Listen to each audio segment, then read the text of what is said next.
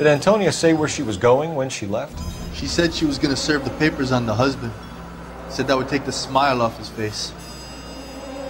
If you ask me, she was scared.